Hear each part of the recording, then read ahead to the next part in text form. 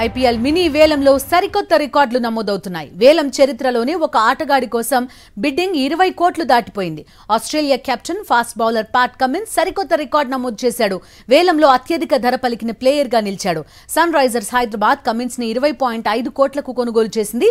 గతంలో England player Sam Curran పద్దెనిమిది point ఐదు కోట్లకు అమ్ముడుపోవడమే ఇప్పటి వరకు రికార్డ్. తాజాగా కమిన్స్ దాన్ని బ్రేక్ చేశాడు. ఇదిలా ఉంటే ఎప్పట్లానే విదేశీ ఆటగాళ్ళపై ఫ్రాంచైజీలు కాసుల వర్షం కురిపిస్తున్నాయి.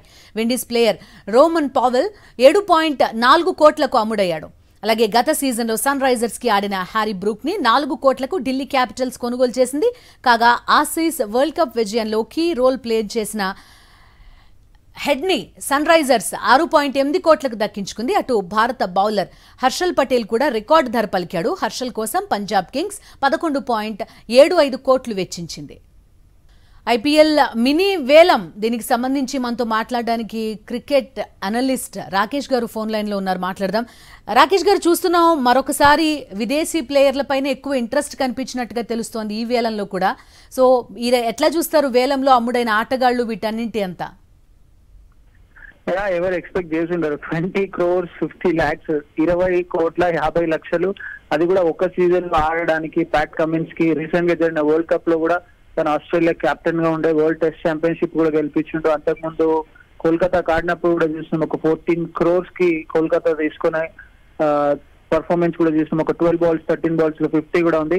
బట్ కమింగ్ బ్యాక్ టు ఈ మనీ విషయానికి వస్తే మాత్రం ప్రతి సీజన్ సీజన్ బై సీజన్ ఎందుకంటే ఈ సీజన్లో ఒక ఫైవ్ క్రోర్స్ ఆఫ్ మనీ ఎక్కువ యాడ్ అయింది ప్రతి టీమ్కి.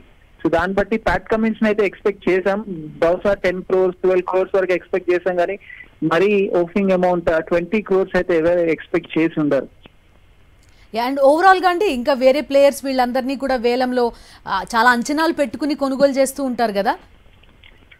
అబ్సల్యూట్లీ చాలా వరకు రచిన్ రవీంద్ర ఎవరైతే న్యూజిలాండ్ ఓపెనర్ యంగ్ ప్లేయర్ ఉన్నారో తనకి చాలా మంచి amount at least four to five crores వరకైనా వస్తుంది అనుకున్నారు. కానీ చెన్నై సూపర్ కింగ్స్ మనకు తెలుసు వాళ్ళు చాలా టాక్టికల్ గేమ్స్ ప్లే చేస్తుంటారు. కేవలం కోటి ఎనభై లక్షలకు మాత్రమే తనని దక్కించుకోవడం అది వాళ్ళకు ఒక జాక్ పాట్ లాగా చెప్పాలి. శార్దుల్ ఠాకూర్ లాంటి player minimum six to seven crores అనుకున్నాం. తను కూడా four crores K. And then world cup final match winner Travis Head six point eight క్రోర్స్కి. So ఇలా చూస్తే కొన్ని మంచి మూవ్స్ లాగా అనిపించినాయి. కొన్ని ఎందుకో తప్పుడు మూవ్స్ లాగా కూడా అనిపించింది. ఎందుకంటే సన్ రైజర్స్ హైదరాబాద్ ప్యాట్ కమిన్స్ని అంత అమౌంట్ వెచ్చించుకోవడం అది ఎంతవరకు వాళ్ళకు ఉపయోగకరంగా మారుతుందనే చూడాలి. ఎందుకంటే సన్ రైజర్స్ హైదరాబాద్ విషయానికి వస్తే అది మన హోమ్ ఫ్రాంచైజీ లాగా feel అవుతుందాం?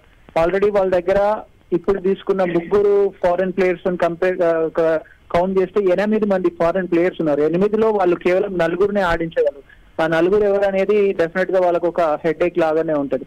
So. Sun Risers Hyderabad విషయానికి వస్తే కొద్దిగా ఎందుకో ప్యాట్ కమిన్స్ విషయంలో వాళ్ళు మేబీ కొద్దిగా చాలా టూ మచ్ ఎక్స్ట్రీమ్గా వెళ్ళినట్టు అనిపించింది బట్ ఇంకో విషయానికి వస్తే ముంబై విషయానికి వస్తే ముంబై ఒక మంచి మూవ్ చేసింది వాళ్ళకి కావాల్సిన బౌలర్ సౌత్ ఆఫ్రికన్ బౌలర్ కోర్సేని ఫైవ్ క్రోర్స్కి తీసుకున్నారు సో కొన్ని మంచి మూవ్స్ కొన్ని బ్యాడ్ మూవ్స్ ఓకే రాకేష్ గారు థ్యాంక్ యూ